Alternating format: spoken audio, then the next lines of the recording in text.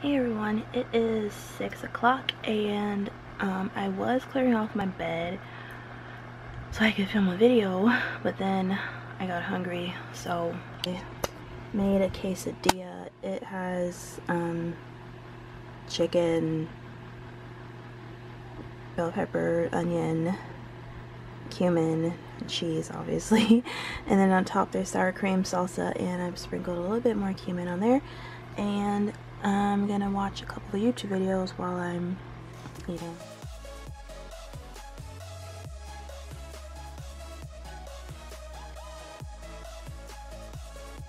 I am uploading yesterday's vlog and um, I'm eating some watermelon and in about 20 minutes I'm gonna go in my mom's room and we're gonna watch um, America's Got Talent.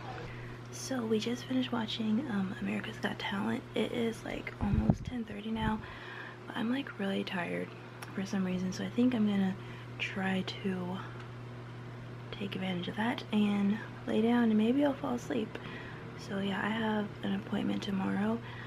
So yeah, I will talk to you all tomorrow. Don't forget to follow me on all my social media, link down below.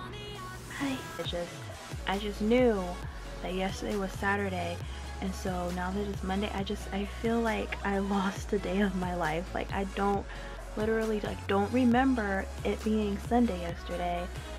And it's just like